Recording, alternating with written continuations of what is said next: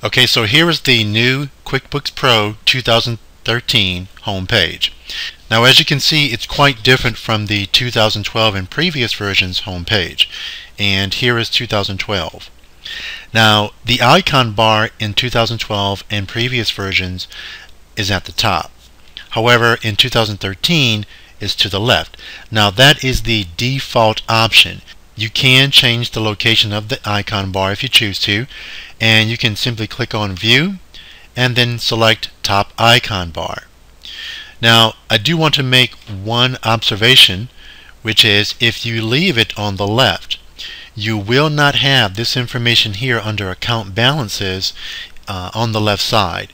So I'm going to click on view once again and click on top icon bar and you'll see to the right you'll have the account balances for each of your accounts, um, most notably your, your asset accounts. However, if you leave the icon bar on the left, you will not have that information readily available. So that is one drawback to leaving the icon bar on the left side of the screen. Another drawback to QuickBooks Pro 2013 is that in previous versions you were able to change your color scheme. So you wouldn't be stuck with just one color scheme on your home page. Uh, this is 2012 and as you can see there are many options to choose from. However, in 2013, if I click on Edit and go to Preferences and select Desktop View, you'll see that there are no options for the color scheme.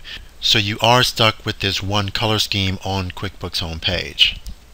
And one final upgrade is that the invoices and bill payments, etc., the fonts are a little bit bigger for you to see.